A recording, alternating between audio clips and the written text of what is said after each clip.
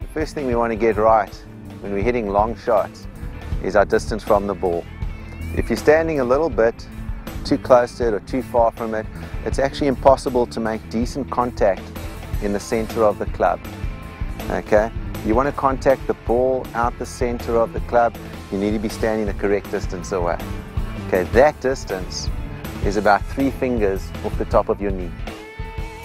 I put the club behind the ball like this, and I drop it against my leg, nice straight leg, okay, there's the top of my knee. The top of the club, when the club is sitting behind the ball, is three fingers off the top of my right knee, okay, or left knee, doesn't make a difference, the ball's in the middle. Okay, so we go through that again. Your distance from the ball is very important you want to contact the ball out the center of the club face.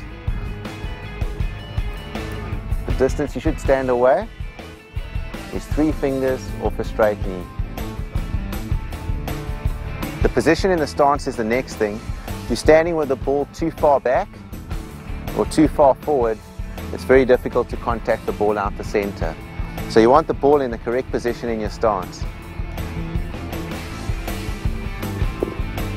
Okay, I can fit a shoe between my left foot and where the ball is in line with. Okay, so the ball is in line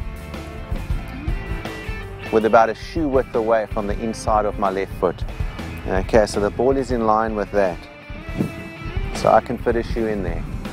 My right foot goes back pretty far.